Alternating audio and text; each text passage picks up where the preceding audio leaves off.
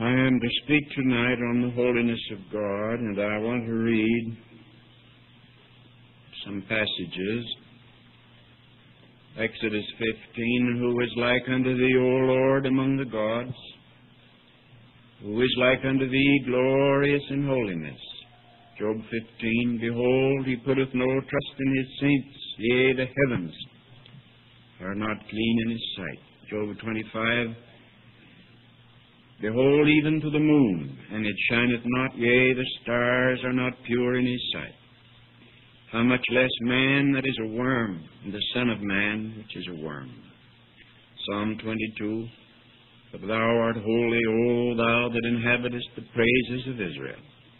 Proverbs 9:10 The fear of the Lord is the beginning of wisdom, and the knowledge of the holy is understanding. Isaiah 6:3 one cried unto another and said, Holy, holy, holy is the Lord of hosts. The whole earth is full of His glory. They say that when Leonardo da Vinci painted his famous Last Supper, that he had little difficulty with any of it except the faces. Then he painted the faces in without too much trouble, except one. He did not feel himself worthy to paint the face of Jesus. He held off and kept holding off, unwilling to approach it, but knowing he must. And then in the impulsive carelessness of despair, he just painted it quickly and let it go. There's no use, he said. I can't paint him. In speaking on the holiness of God, I feel very much the same way. This last week, I rather suffered through this and wondered why today and tonight I was able to get around it all, but I think that same sense of despair is on my heart. There isn't any use for anybody to try. If it's an orator, he can play his oratorical harp, but it sounds tinny and unreal, and when he's through, you've listened to music, but you haven't seen God. I suppose that the hardest thing about God to comprehend is His infinitude.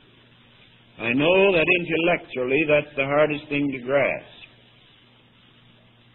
But you can talk about the infinitude of God and not feel yourself a worm.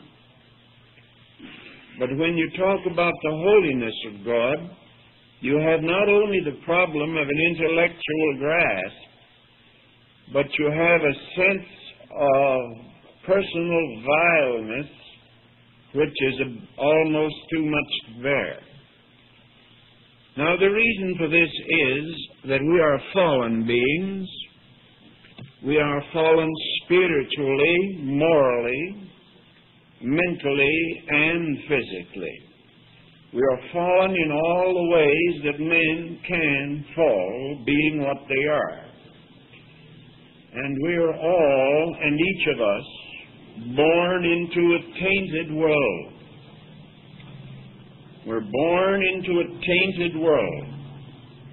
And we learn impurity from our cradles. We nurse it in with our mother's milk. We breathe it in the very air. Our education deepens it, and our experience confirms it evil impurities everywhere. And everything is dirty. Even our whitest white is dingy gray. And our noblest heroes are soiled heroes, all of them. So we learn to excuse and to overlook and not to expect too much. We don't expect all truth from our teachers, And we don't expect all faithfulness from our politicians. And we quickly forgive them when they lie to us and vote for them again. And we don't expect honesty from the merchants. And we don't expect complete trustworthiness from anybody. And we manage to get along in the world only by passing laws to protect ourselves from not only the criminal element, but from the best people there are, who might, in the moment of temptation, take advantage of us. So, fallen man, being born in this kind of world, living here, breathing it in, it gets into his pores, gets into his lungs, into his nerves, into his cells, until he has lost the ability to conceive of the holy. But I would speak of the holiness of God, or of the holy, or of the Holy One, and we cannot comprehend this, and we certainly cannot define it, because holiness means purity, but that isn't enough. Purity mean, merely means that it's unmixed, there's nothing else in it. But that isn't enough. We talk of moral excellency, but that is inadequate, for we say, uh, to be morally excellent is to excel somebody else in moral character. But uh, about whom are we speaking? When we say that God is morally excellent, He excels somebody. Uh, who is it that He excels? The angels, the seraphim, I suppose, but that isn't still enough. We mean rectitude, we mean honor, we mean truth and righteousness. And we mean all of these uncreated and eternal. God is not now any holier than he ever was, for he, being unchanging and unchangeable, can never become holier than he is, and he never was holier than he is, and he'll never be any holier than now. And uh, it means self existent, for he did not get his holiness from anyone, nor from anywhere. He did not go off into some vast, uh, infinitely distant realm and there absorb his holiness, but he is himself the holiness. He is the holy. He is the all holy. He is the Holy One. He is holiness itself beyond the power of thought to grasp or of word to express, beyond the power of all praise. Now, language can't express the holy, so God resorts to association and suggestion. He cannot say it outright because he would have to use words that we don't know the meaning of. And uh, we would then, of course, take the words he used and translate them downward into our terms. If he were to use a word describing his own holiness, we could not understand that word as he uttered it. He would have to translate it down into our unholiness. If he were to tell us how white he is, we would translate it into terms of dingy gray. So God cannot tell us by language so I say he uses association and suggestion by showing how it affects the unholy. Moses at the burning bush, there before the holy fiery presence, knelt down, took his shoes from off his feet, hid his face, for he was afraid to look upon God. Then here is this 19th chapter of Exodus later, where Moses, the Lord said unto him, Lo, I come unto thee in a thick cloud, that the people may hear when I speak with thee, and believe thee forever. And the Lord said to Moses, Go unto the people, and sanctify them today and tomorrow, and let them wash their clothes, and be ready against the third day. For the third day the Lord will come down in the sight of the people, and thou shalt set bounds unto the people round about, saying, Take heed to yourselves that ye go not up into the mount, or touch the border of it. Whosoever toucheth the mount shall be surely put to death. There shall not a hand touch it, but he shall surely be stoned or shot through. For there be a beast or man, it shall not live. When the trumpet soundeth long, they shall come up to the mount. Moses went down, sanctified the people. You see, he did the best he could. He went down and tried to whiten up a little their dingy gray. And it came to pass on the third day in the morning that there were thunders and lightnings and a thick cloud upon the mount, and the voice of the trumpet exceeding loud, so that all the people trembled. Moses brought forth the people out of the camp to meet with God, and they stood at another part of the mount. Mount Sinai was altogether on a smoke because the Lord descended upon it in fire. And the smoke thereof ascended as the smoke of a furnace, and the whole mount quaked greatly. And the voice of the trumpet sounded long and waxed louder and louder. Moses answered God, spake, and God answered him by a voice, and the Lord came down upon Mount Sinai on the top of the mount. And the Lord called Moses up to the top of the mount, and Moses went up, and the Lord said unto Moses, Go down, charge the people, lest they break through unto the Lord to gaze and many of them perish. Now there was an effort on the part of God. All this trumpet, the sound of the trumpet and the voice of words and the fire and the smoke and the shaking of the mount, it was an effort for God to say by suggestion and association what he couldn't say in words now, there are two words for holy. There are more than two, but there are particularly two words for holy in the Old Bible, in the Hebrew Bible. And one word is used almost exclusively of God the Holy One. Rarely used ever of anything or person except God the Holy One. In that passage in Proverbs 9:10, the knowledge of the holy that I read in your hearing, where it says, uh, the fear of the Lord is the beginning of wisdom, and the knowledge of the holy is understanding. This intrigued me. In fact, the book that I'm going to write on the attributes of God, devotionally considered, is to be called The Knowledge of the Holy. Well, I have been greatly fascinated by this, that it should occur in our Bible that this word, that we should have it in the abstract the holy rather than the Holy One. Uh, and yet, the Jewish Bible says the knowledge of the Holy One, and in 33 of Proverbs, that is 30, chapter 3rd verse, where, where uses also the knowledge of the holy, it says the knowledge of the Holy One, or the All Holy. And uh, though the King James translators called this the knowledge of the holy, they used exactly the same word more than 40 times and translated it the Holy One, the Holy One of Israel. So obviously this is God. And yet there is a vagueness enough about it that the translators felt free to put this into an abstraction, to make it uh, abstract, and call it the holy.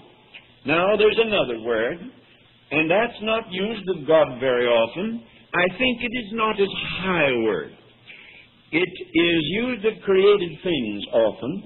It is something that, so to speak, is holy by contact or association with this other holy.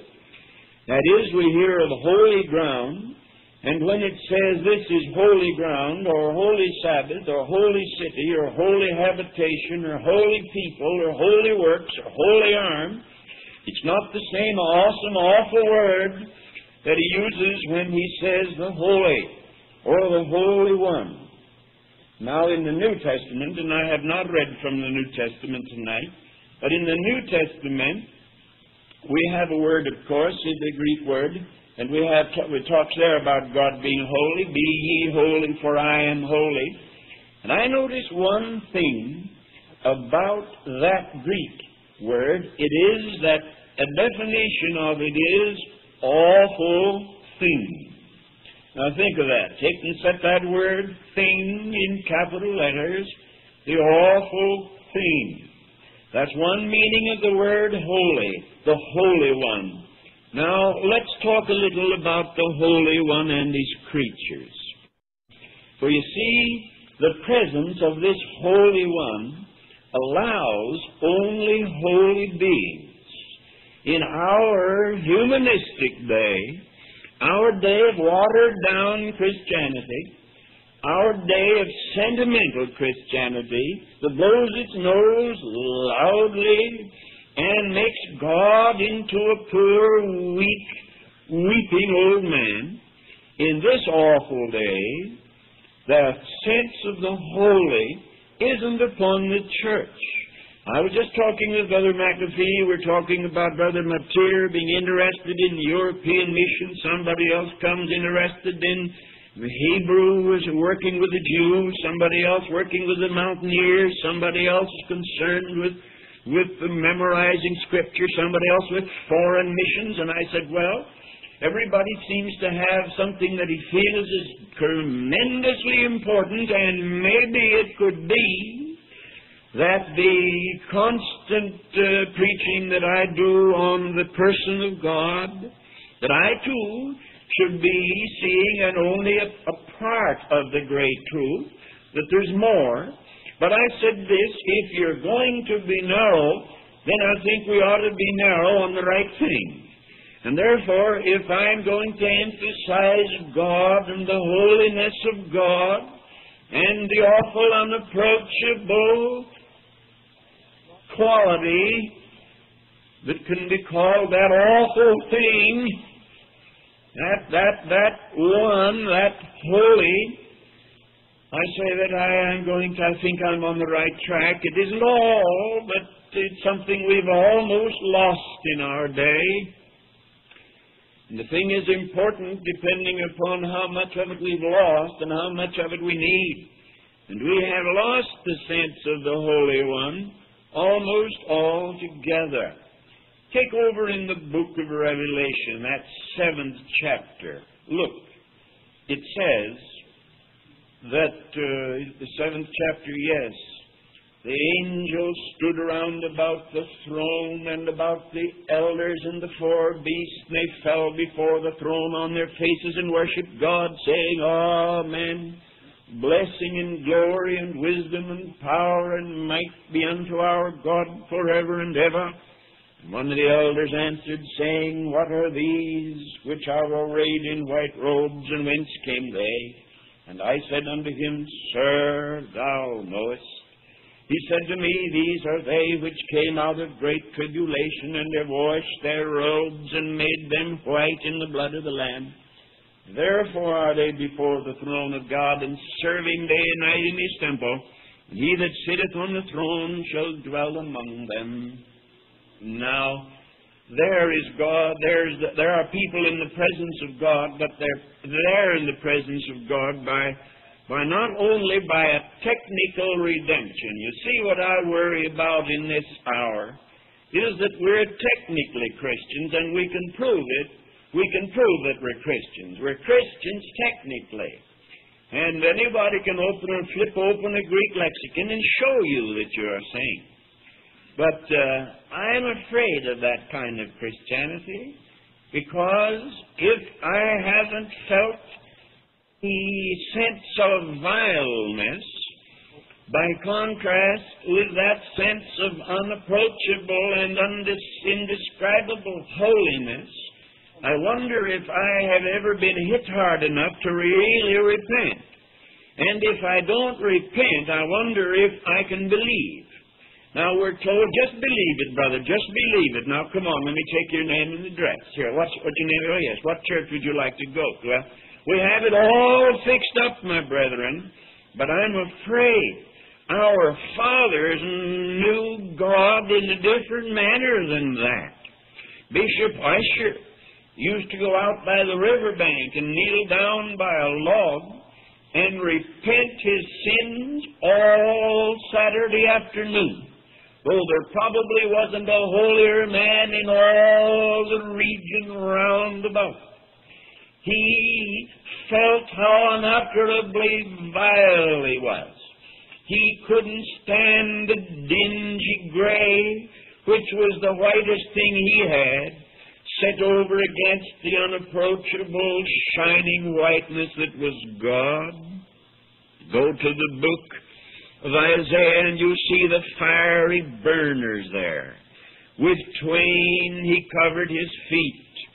There wasn't any in, in these creatures before the throne. There wasn't any of the flippancy that we see now. There wasn't any of the tendency to try to outhope hope and be funnier than the clown. There was a sense of, of presence, and these holy creatures, for they were holy creatures, they covered their feet. Why?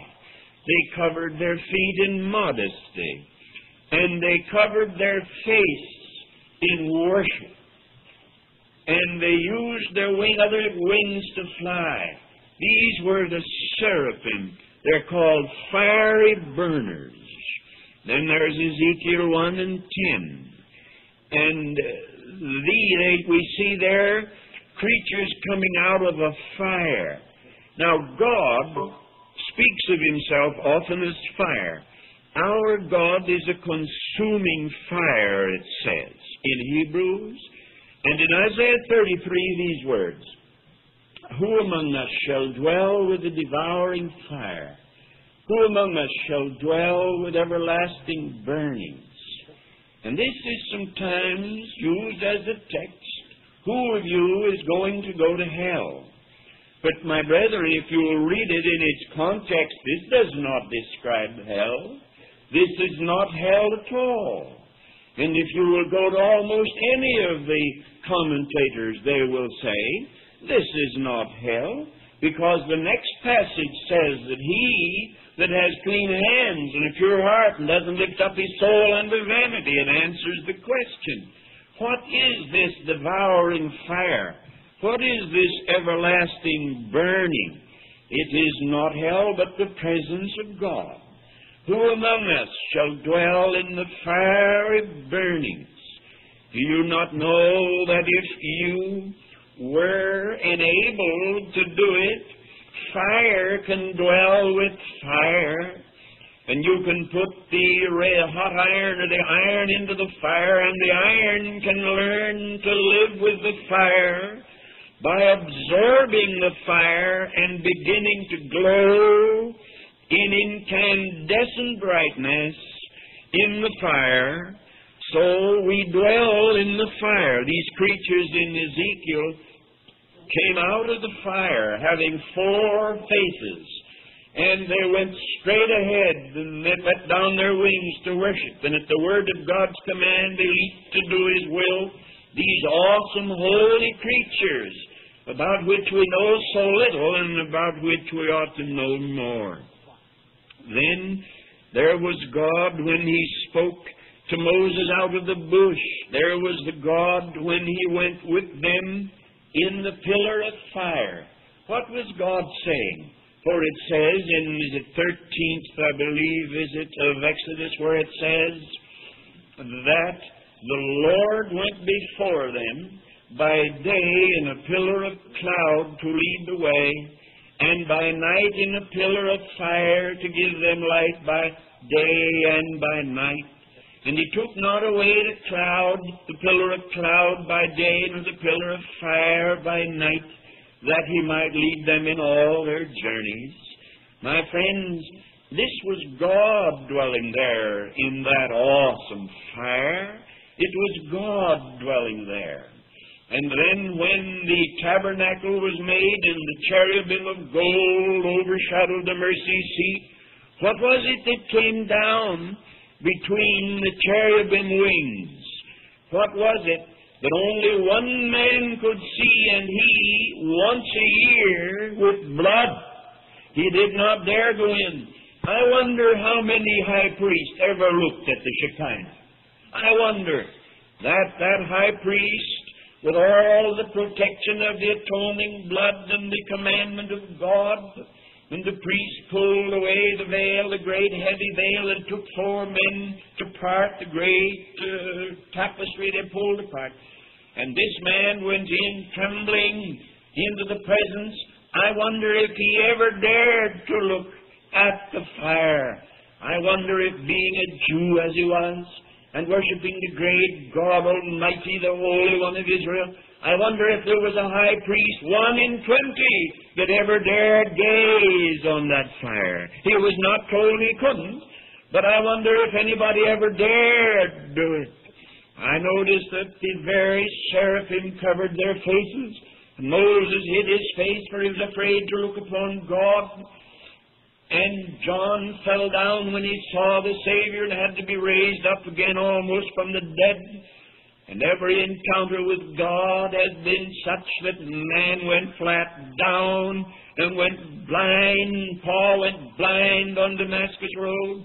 What was the light that blinded them? Was it the cosmic ray coming down from some exploding body or from two uh, colliding galaxies that tell us about? No, no. It was the God of Abraham, Isaac, and Jacob the God that dwelt in the bush, the God that dwelt in the Shekinah between the presence, between the wings of the seraphim. And what was it? That when they were all together in one place, and suddenly there came a sound from heaven as the rushing of a mighty wind, and a fire appeared and sat as a tongue of flame upon each one of them. What did that mean and what could it mean but that God was branding them in their foreheads with His fiery holiness to say, You're mine now? The church was born out of fire, my brethren. She was born out of fire as the creatures in Ezekiel 1 came out of fire. The church was born out of fire. But we have gray ashes today. But we were to, we are to be men and women of fire, for that is our origin. And hear these last words, these words that tell us how God shall someday untune the sky. The heavens and the earth reserved are reserved unto fire. The heavens shall pass away with a great noise, and the elements shall melt with fervent heat and the heavens, being on fire, shall be dissolved. What fire is that? Is that to be the atomic fire, the fire of a hydrogen bomb? Don't allow yourself to be fooled by the scientists. Don't allow your spiritual perceptions and concepts to be dragged down to Oak Ridge don't think in terms of the scientist. That awesome fire out of which the seraphim moved, and that fire that dwelt between the cherubim and that blazing light that knocked fall flat, that's the same fire that shall dissolve the heaven and the earth. The awful presence of that holy thing, that awful thing. Don't, don't accuse me because I say thing, but because I know it's a person. He is God the Holy One of Israel. But there's something about him that is that is awesome and awful. So that one of the definitions I repeat of the word that we have in the New Testament is the awful thing. Now the Holy One and the sinner the Holy One and the sinner. Oh, man. Oh, man. Sinner man. You're going to decide when you'll serve Christ.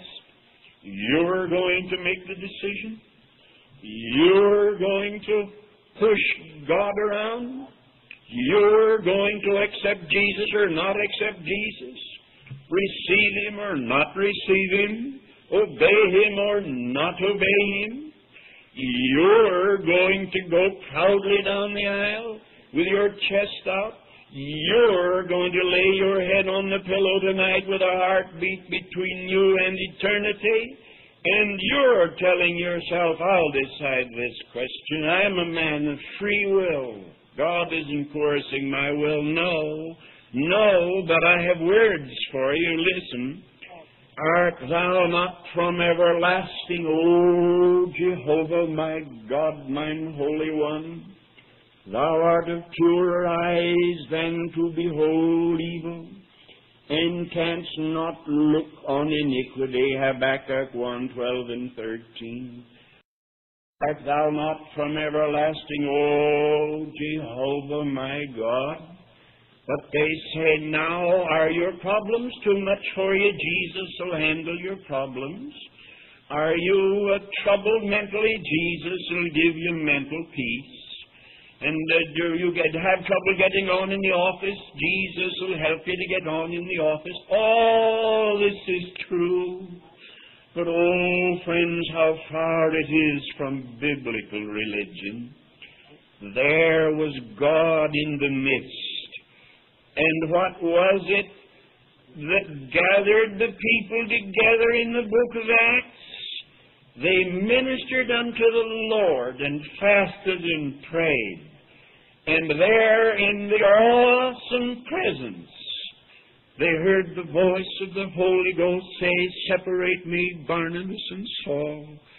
Now we're thrown back on our planning and our reasoning and our thinking when the great and holy God is in our midst. So I would recommend that you remember these words, Thou art of purer eyes than to behold evil. You have evil in your life, evil in your heart, evil in your home, evil in your business, evil in your memory, unconfessed and unforgiven and uncleansed. Remember that it is only by the infinite patience of God that you are not consumed, for our God is a consuming fire. And it's written here, holiness without which no man shall see the Lord. Now look at them come. See them as they come from everywhere, these teachers, with their dingy gray interpretations, pulling this down and explaining it away and saying, see note on such and such, pulling it down and destroying it. But it stands, my brother, holiness without which no man shall see the Lord. Now, if you can interpret that neatly and go home without being bothered, I wonder if your eyes have ever gazed upon that awful thing. I wonder if you know, have, or do have the knowledge of the holy. I wonder if that sense of the overwhelming, crushing holiness of God has ever come upon your heart. It was a common thing in other days when God was the center of human worship. When we came to Him and worshiped God, it was common for men to kneel at an altar and shake and tremble and weep and perspire in an agony of conviction. And they expected it in that day. We don't see it now because the God we preach is not the everlasting awful God, mine Holy One, who is of purer eyes than to behold evil, and cannot look upon iniquity. And we use the technical interpretation of justification by faith and the imputed righteousness of Christ to water our spirit, the wine of our spirituality down until we're what we are. God help us in this evil hour. And so we take into the presence of God this tainted soul. We come into the presence of God with, with uh, our concept of morality, having learned it from the books and gotten it from the newspapers and gotten it in school. We come dirty with everything that we have dirty and our whitest white dirty and our churches dirty and our thoughts dirty we come to God dirty and do nothing about it. If we came to God dirty, but trembling and shocked and awestruck, and would kneel at his in his presence and at his feet, and cry like Isaiah, I am undone, I'm a man of unclean lips, then I'd say, all right, I can understand. But we, we skip into his awful presence. And somebody who's dirty comes with a book, Seven Steps to Salvation, and gives seven verses underlined and gets a fellow out of his problem and out of his trouble. Dear God, that's why we're going down each year, each year. More Christians, more people going to church, more Christians, more people going to church, more church buildings, more money, and less spirituality, and less holiness. And we're forgetting that without holiness no man shall see God. I tell you this standing here tonight, that I want God to be what God is. And I want God to remain what God is, the impeccably holy, unapproachable, holy thing, Holy One, all Holy One. I want Him to be and remain the Holy in capital letters. I want Him to be that, and I want His heaven to be holy, and I want His throne to be holy. And I don't want Him to change or modify His requirements. Even if it shuts me out, I want something holy left in the universe. You can join almost any church now. I've heard recently of a certain church. Well, it's a Baptist church. They're not all true Baptist churches. I've preached some pretty strict Baptist churches. And I, am more or less of a Baptist myself, and that's a baptistry back there. But I'll say this to you, brother that this particular Baptist church, and they tell me there are many of them, they say now at the closing hymn we open the doors of the church. And they can come and anybody can join. A gangster can join. I say never, never, never, never. Never, never. For if they can't get into heaven, they oughtn't to get into our churches. And the problem with us is that we keep our, let our churches stay dingy gray. Instead of pleading, pleading for holy whiteness. And as soon as anybody begins to plead, we Christians ought to be holy, somebody comes along and says, Now, my brother, don't get excited about this, and don't become a fanatic, for don't you understand that God understands our flesh, and He knows we're but dust. Oh, He knows we're but dust. But he says, Thou art of purer eyes than to behold evil, and canst not look upon iniquity. And without holiness it's impossible to please God. Thomas Binney wrote this. I think it's one of the most awesome, wondrous things ever written. Eternal light. Eternal light, how pure the soul must be. When placed within thy searching sight, it shrinks not, but with calm delight can look, can live and look on thee. The spirits that surround thy throne can bear the burning bliss, but that is surely theirs alone, for they have never, never known a fallen world like this. But how shall I, whose native sphere is dark, whose mind is dim, before the ineffable appear, and on my naked spirit bear the uncreated beam. How shall I, whose native sphere is dark, whose mind is dim, before the ineffable appear, and on my naked spirit bear the uncreated beam? That fiery beam out of which come the holy burners who sing, Holy, holy, holy is the Lord God Almighty. How can I bear it? And you don't know when.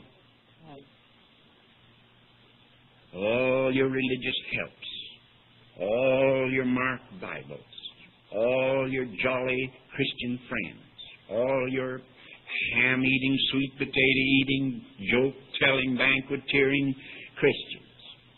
I eat ham too, incidentally. I'm not against ham, but we make banquets and tell jokes and have one man band. But one of these times, each one of us will be called before the ineffable to appear, and on our naked spirits bear the uncreated being. How are we going to do it?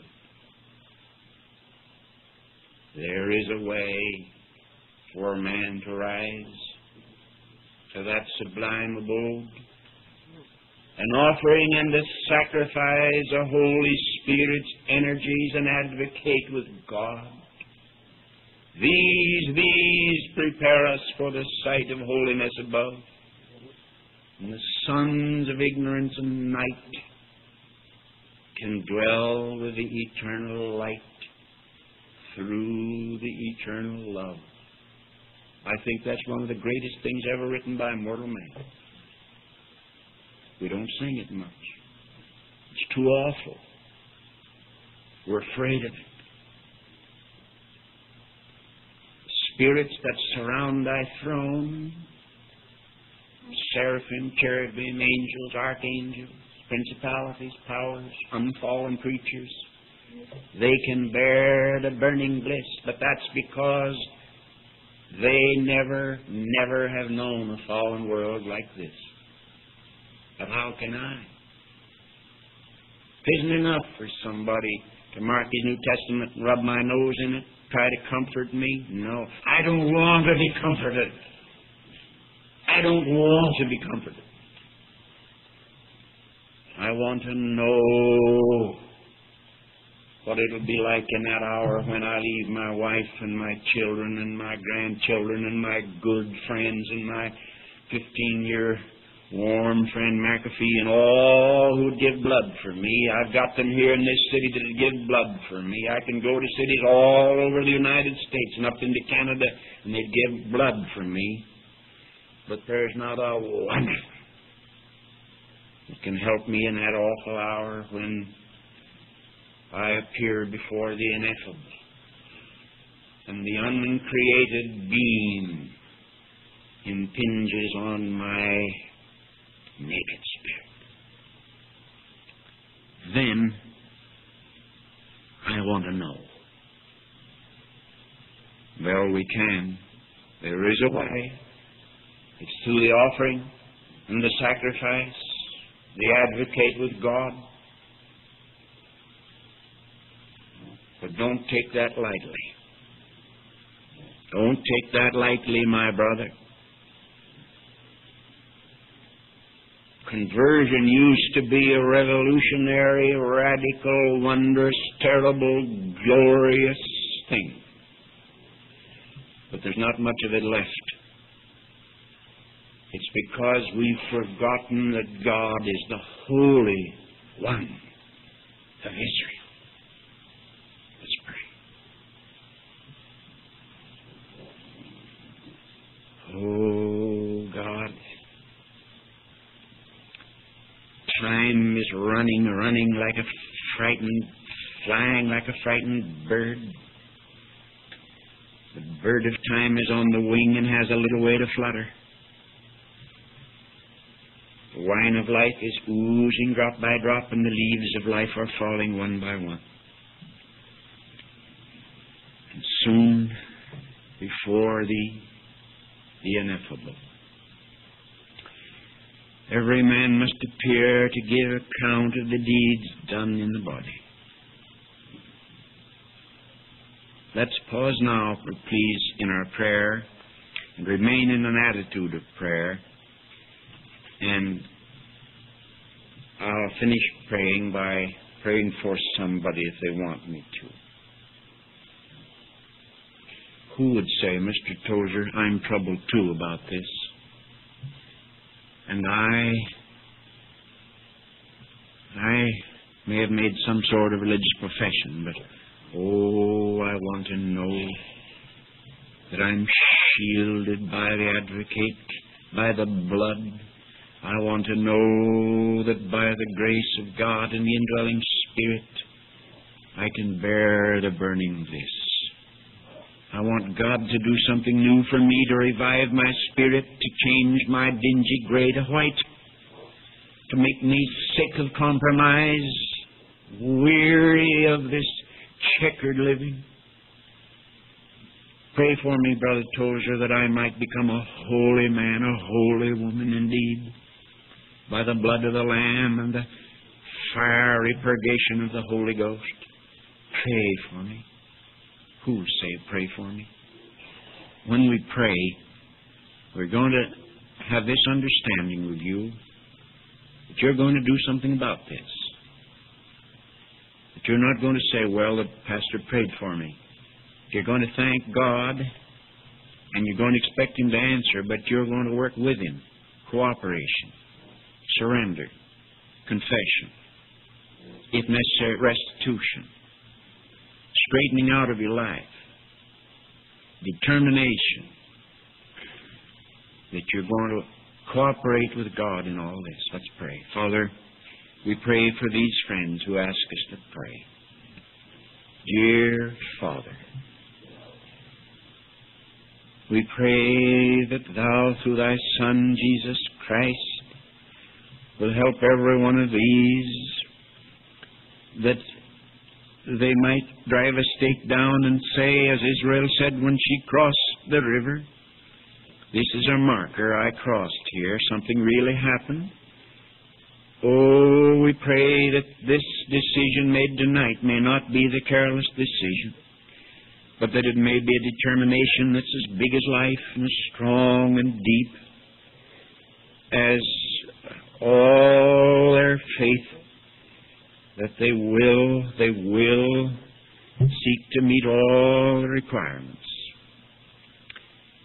That they may in that day rise to that divine abode, that the sons of ignorant and light and night may dwell with the eternal light because of thine eternal love. Grant this. Then for those who didn't, some who didn't but should have, oh Father, keep upon us a sense of holiness, that we can't sin and excuse it, but that repentance will be as deep as our lives. This we ask in Christ's name. Amen.